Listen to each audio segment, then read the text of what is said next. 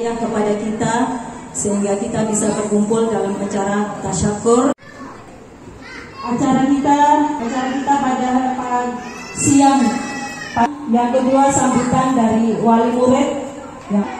Yang ketiga sambutan Amin wassalatu wassalamu ala asrafil mursalin sayyidina Muhammad Ustaz Alifah Ustaz yang utama silaturahmi kita tetap terjaga memang Cukup pengetahuan Mama nih kalau misalkan saya sebagai wali kelas selama mendampingi anak-anak di kelas 3 pindah. Terus yang ketiga ada kakak Alin juga pindah. Tidak apa-apa. Hanya jami'an ayat. Wadallahi